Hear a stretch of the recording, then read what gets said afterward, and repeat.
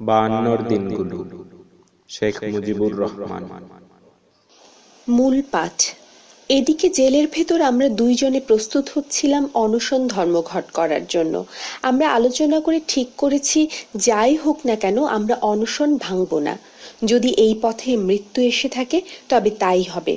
Jail কর্তৃপক্ষ jail কর্তৃপক্ষ, বিশেষ করে সুপারিনটেন্ডেন্ট আমির হোসেন সাহেব ও তখনকার দিনে রাজবন্দীদের ডেপুটি জেলার মোখলেসুর রহমান সাহেব আমাদের বোঝাতে অনেক চেষ্টা করলেন। আমরা তাঁদের বললাম, আপনাদের বিরুদ্ধে আমাদের বলবার কিছু নাই। আর আমরা সেজন্য অনশন করছি না।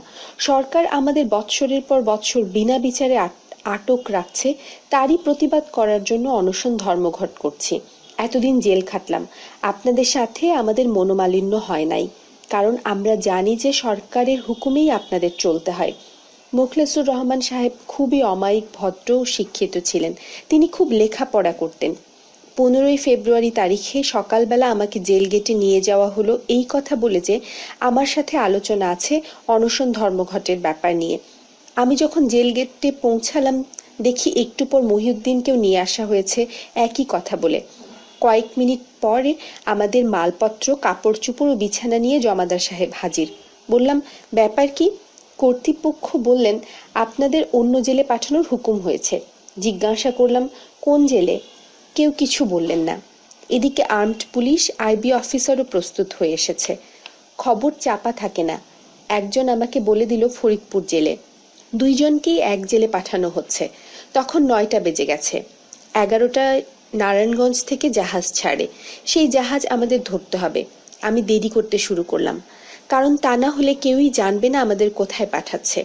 প্রথমে আমার বইগুলি এক এক করে মেলাতে শুরু করলাম। তারপর কাপড়গুলি। হিসাব নিকাশ। কত টাকা খরচ হয়েছে, কত টাকা আছে? দেরি করতে করতে দশটা বাজিয়ে দিলাম। রওনা করতে আরও আধা ঘণ্টা লাগিয়ে দিলাম। আর্মড পুলিশের সুবেদার ও গোয়েন্দা কর্মচারীরা তাড়াতাড়ি করছিল। সুবেদার পাকিস্তান হওয়ার সময় গোপালগঞ্জে ছিল এবং সে একজন বেলুচি ভদ্রলোক। আমাকে খুবই ভালোবাসতো এবং শ্রদ্ধা করত। আমাকে দেখেই বলে বসল ইয়ে ক্যা বাত হাই আব জেলখানা মে? আমি বললাম, কিসমত। আর কিছুই বললাম না। আমাদের জন্য বন্ধ ঘোড়ার গাড়ি আনা হয়েছে। গাড়ির ভেতর জানালা উঠিয়ে ও দরজার কপাট বন্ধ করে দিল। দুইজন ভেতরেই আমাদের সাথে বসল। আর একটা গাড়িতে অন্যরা পেছনে পেছনে ভিক্টোরিয়া পার্কের পাশে রোডের দিকে চলল। সেখানে যেয়ে দেখি পূর্বেই একজন আর্মড পুলিশ ট্যাক্সি রিজার্ভ করে দাঁড়িয়ে আছে। তখন ট্যাক্সি পাওয়া খুবই কষ্টকর ছিল। আমরা আস্তে আস্তে নামলাম, উঠলাম। কোনো চেনা লোকের সাথে দেখা হলো না। যদিও এদিক ওদিক অনেকবার তাকিয়েছিলাম। ট্যাক্সি তাড়াতাড়ি চালাতে বলল। আমি ট্যাক্সিওয়ালাকে বললাম, বেশি জোরে চালাবেন না, কারণ বাবার কালের জীবনটা যেন রাস্তায় না যায়। আমরা পৌঁছে খবর পেলাম জাহাজ ছেড়ে চলে গেছে। এখন উপায়, কোথায় আমাদের নিয়ে যাবে? রাত একটায় আরেকটা জাহাজ ছাড়বে।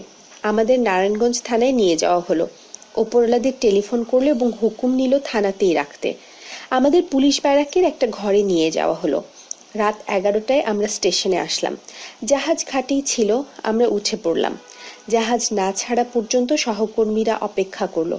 রাত একটার সময় সকলের কাছ থেকে বিদায় নিলাম। বললাম, জীবনে আর দেখা না হতেও পারে। সকলে যেন আমাকে ক্ষমা করে দেয়। দুঃখ আমার নাই, একদিন মরতেই হবে। অন্যায় ও অত্যাচারীর বিরুদ্ধে প্রতিবাদ করে যদি মরতে পারি, সে মরাতেও শান্তি আছে। জাহাজ ছেড়ে দিল। আমরা বিছানা করে শুয়ে পড়লাম। সকালে দুইজনে পরামর্শ করে ঠিক করলাম, জাহাজে অনশন করি কি করে? আমাদের জেলে নিতে হবে অনশন শুরু করার পূর্বে। সমস্ত দিন জাহাজ চলল, রাতে গোয়ালন্দ ঘাটে এলাম। সেখান থেকে ট্রেনে রাত চারটায় ফরিদপুর পৌঁছালাম। রাতে আমাদের জেল কর্তৃপক্ষ গ্রহণ করল না। আমরা দুইজনে জেল সিপাহীদের ব্যারাকের বারান্দায় কাটালাম। সকালবেলা সুবেদার সাহেব বললাম, সকালবেলা সুবেদার সাহেবকে বললাম, জেল অফিসাররা না আসলে তো আমাদের জেলে নিবে না। চলেন কিছু নাস্তা করে আসি। নাস্তা খাবার ইচ্ছা আমাদের নাই। তবে যদি কারোর সাথে দেখা হয়ে যায় তাহলে ফরিদপুরের সহকর্মীরা জানতে পারবে আমরা ফরিদপুর জেলে আছি এবং অনশন ধর্মঘট করছি। আমরা জেল গেটে এসে দেখি জেলা সাহেব, ডেপুটি জেলা সাহেব এসে গেছেন। আমাদের তাড়াতাড়ি ভেতরে নিয়ে যেতে বললেন। তারা পূর্বেই খবর পেয়েছিলেন। জায়গাও ঠিক করে রেখেছেন। তবে রাজবন্দীদের সাথে নয়, অন্য জায়গায়। আমরা তাড়াতাড়ি ঔষধ খেলাম, পেট পরিষ্কার করবার জন্য। তারপর অনশন ধর্মঘট শুরু করলাম। দুই দিন পর অবস্থা খারাপ হলে আমাদের হাসপাতালে নিয়ে যাওয়া হলো। আমাদের দুইজনেরই শরীর খারাপ। মহিউদ্দিন ভুগছে পুরিসিস রোগে আর আমি ভুগছি নানা রোগে। চার দিন পর আমাদের নাক দিয়ে জোর করে খাওয়াতে শুরু করল। মহাবিপদ নাকের ভিতর দিয়ে নল পেটের মধ্য পর্যন্ত দেয়। তারপর নলের মুখে একটা কাপের মতো লাগিয়ে দেয়। একটা ছিদ্রও থাকে। সে কাপের মধ্যে দুধের মতো পাতলা করে খাবার তৈরি করে পেটের ভেতর ঢেলে দেয়। এদের কথা হলো, মরতে দেব না। আমার নাকে একটা ব্যায়াম ছিল। দুই তিনবার দেবার পরে ঘা হয়ে গেছে। রক্ত আসে আর যন্ত্রণা পাই। আমরা আপত্তি করতে লাগলাম। জেল কর্তৃপক্ষ শুনছে না। খুবই কষ্ট হচ্ছে। আমার দুইটা নাকের ভেতরেই ঘা হয়ে গেছে। তারা হ্যান্ডকাপ পরানোর লোকজন নিয়ে আসে। বাধা দিলে হ্যান্ডকাপ পুড়িয়ে জোর করে ধরে খাওয়াবে। আমাদের শরীরও খুব দুর্বল হয়ে পড়েছে। পাঁচ পাঁচ, ছয় দিন পরে বিছানা থেকে ওঠার শক্তি হারিয়ে ফেলেছি। আমরা ইচ্ছা করে কাগজি লেবুর রস দিয়ে লবণ পানি খেতাম, কারণ এর মধ্যে কোনো ফুড ভ্যালু নাই। আমাদের ওজনও কমতে ছিল নাকের মধ্য দিয়ে নল দিয়ে খাওয়ানোর সময় নলটা একটু এদিক ওদিক হলেই আর উপায় থাকবে না। সিভিল সার্জন সাহেব, ডাক্তার সাহেব ও জেল কর্তৃপক্ষ আমাদের কোনো অসুবিধা না হয় তার চেষ্টা করছিলেন। বারবার সিভিল সার্জন সাহেব অনশন করতে নিষেধ করছিলেন। আমারও মহিউদ্দিনের শরীর অতিশয় দুর্বল হয়ে পড়েছে। এখন আর বিছানা থেকে উঠবার শক্তি নাই। আমার হার্টের অবস্থা খারাপ হয়ে পড়েছে বুঝতে পারলাম। প্যালপিটেশন হয় ভীষণভাবে, নিঃশ্বাস ফেলতে কষ্ট হয়। ভাবলাম আর বেশি দিন নাই। একজন কয়েদিকে দিয়ে গোপনে কয়েক টুকরা কাগজ আনালাম। যদিও হাত কাঁপে, তথাপি ছোট ছোট করে চারটা চিঠি লিখলাম। আব্বার কাছে একটা, রেনুর কাছে একটা আর দুইটা শহীদ সাহেব ও ভাসানী সাহেবের কাছে। দু একদিন পর আর লেখার শক্তি থাকবে না। একুশে ফেব্রুয়ারি আমরা উদ্বেগ, উৎকণ্ঠা নিয়ে দিন কাটালাম। রাতে সিপাহীরা ডিউটিতে এসে খবর দিল, ঢাকায় ভীষণ গোলমাল হয়েছে। কয়েকজন লোক গুলি খেয়ে মারা গেছে, রেডিওর খবর। ফরিদপুরে হরতাল হয়েছে, ছাত্রছাত্রীরা শোভাযাত্রা করে জেল গেটে এসেছিল। তারা বিভিন্ন স্লোগান দিচ্ছিল। রাষ্ট্রভাষা বাংলা চাই, বাঙালিদের শোষণ করা চলবে না, শেখ মুজিবের মুক্তি চাই, রাজবন্দীদের মুক্তি চাই, আরও অনেক স্লোগান। আমার খুব খারাপ লাগল। কারণ ফরিদপুর আমার জেলা। মহিউদ্দিনের নামে কোনো স্লোগান দিচ্ছে না কেন? শুধু রাজবন্দীদের মুক্তি চাই বললেই তো হতো। রাতে যখন ঢাকার খবর পেলাম, তখন ভীষণ চিন্তাযুক্ত হয়ে পড়লাম। কত লোক মারা গেছে বলা কষ্টকর। তবে অনেক লোক গুলি খেয়ে মারা গেছে শুনেছি। দুজনে পাশাপাশি বিছানায় শুয়ে আছি। ডাক্তার সাহেব আমাদের নড়াচড়া করতে নিষেধ করেছেন। কিন্তু উত্তেজনায় উঠে বসলাম। বাইশ তারিখে সারাদিন ফরিদপুরে শোভাযাত্রা চলল। কয়েকজন ছাত্রছাত্রী এক জায়গায় হলেই স্লোগান দেয়। ছোট্ট ছোট্ট ছেলেমেয়েরা রাস্তায় বেড়ায় আর স্লোগান দেয়। বাইশ তারিখে খবরের কাগজ এলো। কিছু কিছু খবর পেলাম। মুসলিম লীগ সরকার কত বড় অপরিণামদর্শিতার কাজ করল। মাতৃভাষা আন্দোলনে পৃথিবীতে এই প্রথম বাঙালিরাই রক্ত দিল।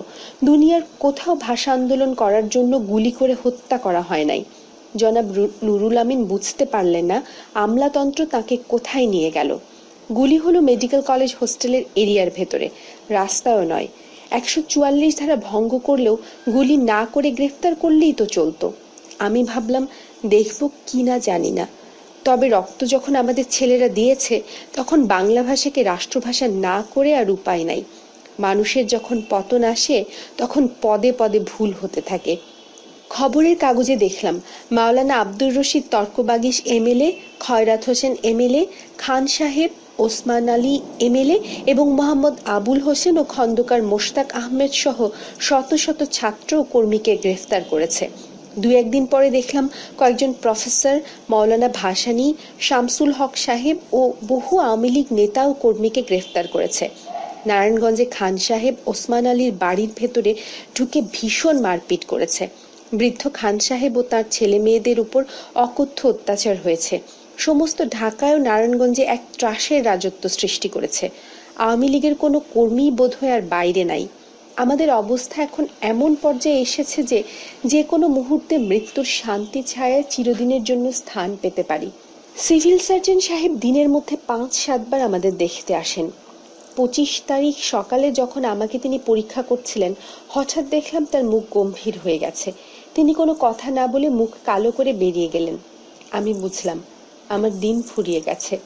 কিছু সময় পরে আবার ফিরে এসে বললেন, এভাবে মৃত্যুবরণ করে কি কোনো লাভ হবে? বাংলাদেশটি আপনার কাছ থেকে অনেক কিছু আশা করে। আমার কথা বলতে কষ্ট হয়। আস্তে আস্তে বললাম, অনেক লোক আছে, কাজ পড়ে থাকবে না। দেশকে ও দেশের মানুষকে ভালোবাসি, তাদের জন্যই জীবন দিতে পারলাম। এই শান্তি। ডেপুটি জেলার সাহেব বললেন কাউকে খবর দিতে হবে কিনা? আপনার ছেলে মেয়ে স্ত্রী কোথায়? আপনার আব্বার কাছে কোনো টেলিগ্রাম করবেন? বললাম, দরকার নাই। আর তাদের কষ্ট দিতে চাই না। আমি আশা ছেড়ে দিয়েছি। হাত পা অবশ হয়ে আসছিল। হাটের দুর্বলতা না থাকলে এত তাড়াতাড়ি দুর্বল হয়ে পড়তাম না। একজন কয়েদি ছিল, আমার হাতে পায়ে সরিষার তেল গরম করে মালিশ করতে শুরু করল। মাঝে মাঝে ঠান্ডা হয়ে যাচ্ছিল। মহিউদ্দিনের অবস্থাও ভালো না। কারণ প্লুরিসিস আবার আক্রমণ করে বসেছে। আমার চিঠি চারখানা একজন কর্মচারীকে ডেকে তার কাছে দিয়ে বললাম, আমার মৃত্যুর পরে চিঠি চারখানা ফরিদপুরে আমার এক আত্মীয়ের কাছে পৌঁছে দিতে। তিনি কথা দিলেন। আমি তার কাছ থেকে ওয়াদা নিলাম। বারবার আব্বা, মা ও ভাই বোনদের চেহারা ভেসে আসছিল আমার চোখের সামনে। রেনুর দশা কি হবে? আর তো কেউ নাই দুনিয়ায়। ছোট ছেলে মেয়ে দুইটার অবস্থাই বা কি হবে? তবে আমার আব্বা ও ছোট ভাই ওদের ফেলবে না। এ বিশ্বাস আমার ছিল। চিন্তা শক্তিও হারিয়ে ফেলছিলাম। হাসিনা কামালকে একবার দেখতেও পারলাম না। বাড়ির কেউ খবর পায় নাই, পেলে নিশ্চয়ই আসতো। মহিউদ্দিন আমি পাশাপাশি দুইটা খাট পেতে নিয়েছিলাম। একজন আরেকজনের হাত ধরে শুয়ে থাকতাম। দুজনই চুপচাপ পড়ে থাকি।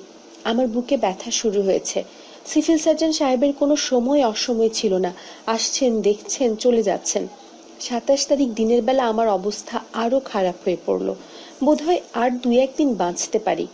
সাতাশ তারিখ রাত আটটার সময় আমরা দুজন চুপচাপ শুয়ে আছি।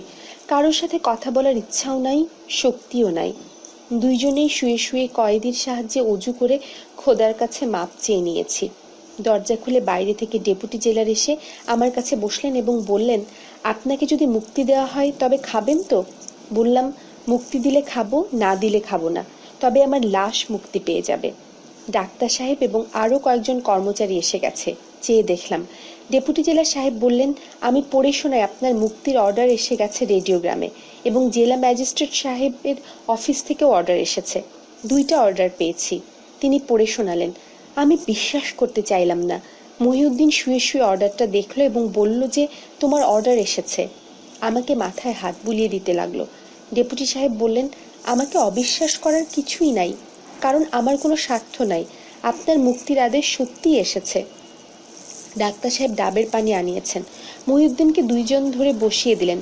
সে আমাকে বলল, তোমাকে ডাবের পানি আমি খাইয়ে দেব। দুই চামচ ডাবের পানি দিয়ে মহিউদ্দিন আমার অনশন ভাঙিয়ে দিল। সকাল দশটার দিকে খবর পেলাম, আব্বা এসেছেন। জেল গেটে আমাকে নিয়ে যাওয়া সম্ভব নয় তাই কর্তৃপক্ষ তাকে ভেতরে নিয়ে আসলেন। আমাকে দেখি আব্বার চোখে পানি এসে গেছে। আব্বার সহ্য শক্তি খুব বেশি। কোনো মতে চোখের পানি মুছে ফেললেন।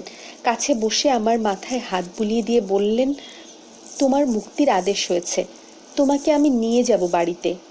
আমি ঢাকায় গিয়েছিলাম। তোমার মা, রেনু, হাসিনা ও কামালকে নিয়ে দুই দিন বসে রইলাম। কেউ খবর দেয় না। তোমাকে কোথায় নিয়ে গেছে? তুমি ঢাকায় নাই, এ কথা জেল গেট থেকে বলেছে। যদিও পরে খবর পেলাম, তুমি ফরিদপুর জেলে আছো। তখন যোগাযোগ ব্যবস্থা বন্ধ। নারায়ণগঞ্জ এসে যে জাহাজ ধরবো, তারও উপায় নাই। তোমার মা ও রেনুকে ঢাকায় রেখে আমি চলে এসেছি। কারণ আমার সন্দেহ হয়েছিল, তোমাকে ফের ফরিদপুর নেওয়া হয়েছে কিনা। আজই টেলিগ্রাম করব, তারা যেন বাড়িতে রওনা হয়ে যায়। আমি আগামীকাল বা পরশু তোমাকে নিয়ে রওনা করব। বাকি খোদা ভরসা। সিভিল সার্জন সাহেব বলেছেন, তোমাকে নিয়ে যেতে হলে লিখে দিতে হবে যে, আমার দায়িত্বে নিয়ে যাচ্ছি। আব্বা আমাকে সান্ত্বনা দিলেন এবং বললেন, তিনি খবর পেয়েছেন, মহিউদ্দিনও মুক্তি পাবে। তবে একসাথে ছাড়বে না, একদিন পরে ছাড়বে। পরের দিন আব্বা আমাকে নিতে আসলেন। অনেক লোক জেল গেটে হাজির। আমাকে স্ট্রেচারে করে জেল গেটে নিয়ে যাওয়া হলো এবং গেটের বাইরে রেখে দিল। যদি কিছু হয় বাইরে গিয়ে হোক, এই তাদের ধারণা। পাঁচ দিন পর বাড়ি পৌঁছালাম। মাকে তো বোঝানো কষ্টকর। হাসু আমার গলা ধরে প্রথমেই বলল আব্বা, রাষ্ট্রভাষা বাংলা চাই, রাজবন্দীদের মুক্তি চাই। একুশে ফেব্রুয়ারি ওরা ঢাকায় ছিল। যা শুনেছে তাই বলে চলেছে। কামাল আমার কাছে আসলো না, তবে আমার দিকে চেয়ে রইল। আমি খুব দুর্বল, বিছানায় শুয়ে পড়লাম। গতকাল রেনু মা ঢাকা থেকে বাড়ি এসে আমার প্রতীক্ষায় দিন কাটাচ্ছিল। এক এক করে সকলে যখন আমার কামরা থেকে বিদায় নিল, তখন রেনু কেঁদে ফেলল এবং বলল, তোমার চিঠি পেয়ে আমি বুঝেছিলাম তুমি কিছু একটা করে ফেলবা। তুমি আমাকে দেখবার জন্য ব্যস্ত হয়ে পড়েছিলাম। আমি তোমাকে দেখবার জন্য ব্যস্ত হয়ে পড়েছিলাম। কাকে বলব নিয়ে যেতে? আব্বাকে বলতে পারি না লজ্জায়। নাসের ভাই বাড়ি নাই। যখন খবর পেলাম খবরের কাগজে, তখন লজ্জা সরম ত্যাগ করে আব্বাকে বললাম।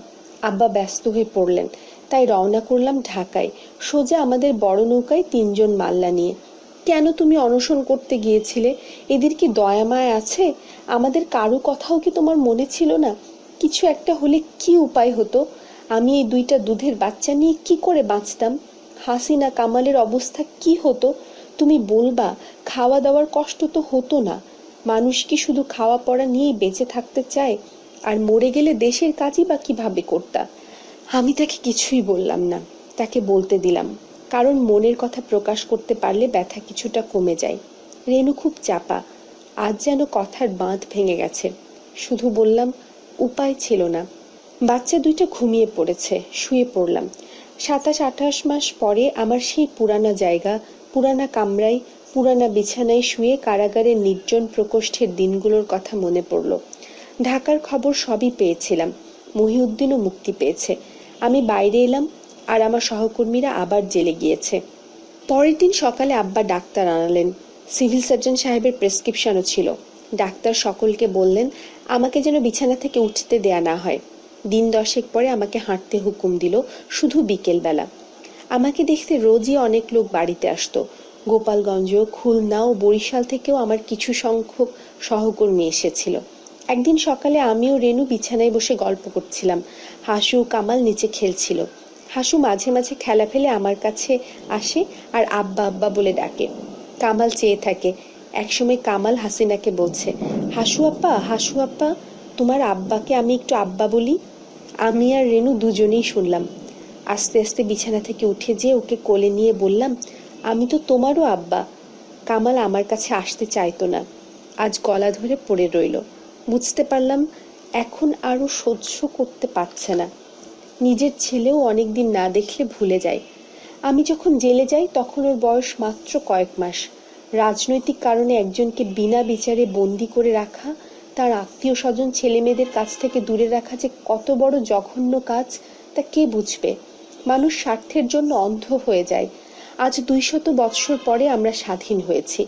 সামান্য হলেও কিছু আন্দোলনও করেছি স্বাধীনতার জন্য। ভাগ্যের নিষ্ঠুর পরিহাস।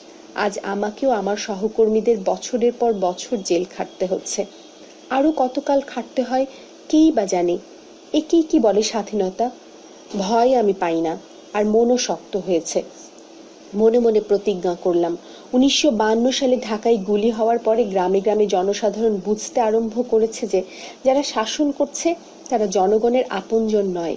খবর নিয়ে জানতে পারলাম, একুশে ফেব্রুয়ারি গুলি হওয়ার খবর বাতাসের সাথে সাথে গ্রামে গ্রামে পৌঁছে গেছে।